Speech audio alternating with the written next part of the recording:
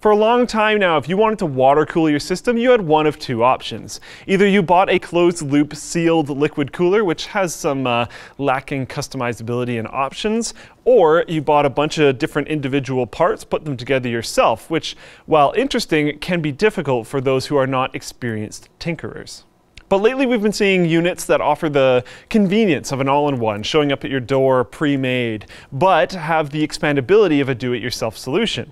Enter the EK Predator 240 and EK Predator 360, which also claim a fairly significant amount more performance. Does it live up to that claim? Stay tuned to find out.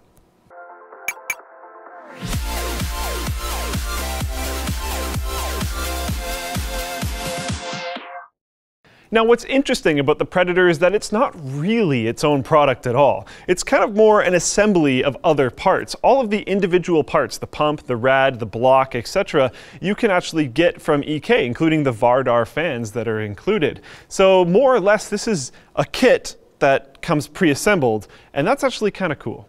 It also comes with a fan hub, which is really nice, and the cable management around the unit is great, although one not necessarily good thing, depending on what your system is configured as, is that the Predator is exclusively an Intel socket cooler. It does not have compatibility for AMD CPUs, so yeah, be wary of that if you are an AMD CPU user.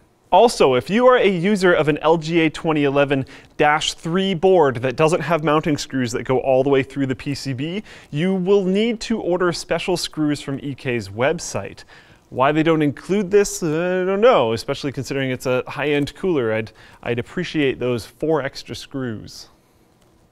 The installation went pretty well, except for one pretty significant hiccup.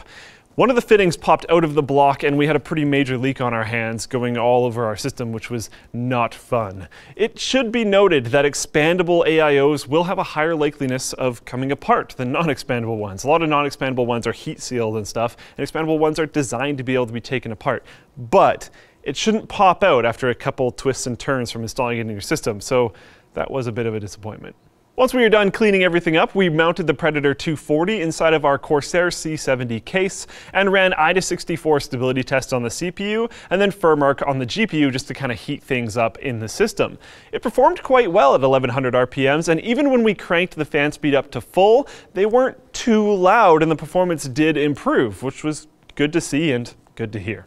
But since we mentioned earlier, the EK Predator series is an expandable loop, so we wanted to test it with more things in the loop. Thanks EK, they sent us a Titan X water block so that we could use it in the same system. The 240, the EK Predator 240 had some issues bleeding the air bubbles in the loop. That was a little frustrating. So we moved up to the 360, which we kind of wanted to bench anyways, so it was fine. It also features quick disconnects, so it was a lot easier to add something to the loop because you could just partially take the loop apart without anything leaking, without the need to refill, add things to it, and then keep on moving on. I must note here that we had to just kind of leave the 360 millimeter rad outside of the case. The Corsair C70 that we used doesn't really work with 360 millimeter cases unless you do some pretty intense ghetto modding, and even then, not so much, so we opted to leave it outside. It's not really a fair comparison against the other coolers, but we did crank up Furmark to 4K, and with 4K Furmark running on the GPU and the CPU still being pushed by AIDA64 stability test,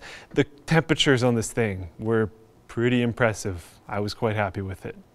So in conclusion, if you're looking for a more advanced water cooling setup, but still don't necessarily want to piece everything together yourself, or if you're experienced and have pieced things together before, but just want the premium components, just want to put it in your case relatively quickly, the Predator is not a bad idea. Really high performance, feels very premium all around, has a fan controller built in, all that kind of stuff.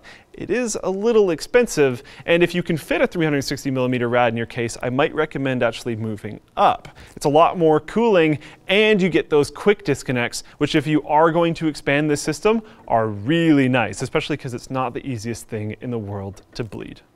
If you disliked the video, you probably know what to do. If you did like the video, give it a like, that makes sense. Hit subscribe, do all that kind of stuff. Or consider supporting us directly through our Amazon affiliate code, by contributing to us on the forum, or purchasing a shirt, which isn't from Twitch. How do I always end up in Twitch shirts? I don't know. If you're looking for more stuff to watch, click up here. You can check out other water cooling videos we've done. Made that up on the spot.